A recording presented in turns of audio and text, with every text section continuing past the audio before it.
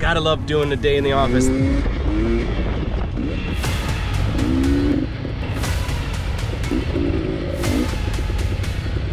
Hey, Jeremy from Altrider. Awesome day in the Pacific Northwest.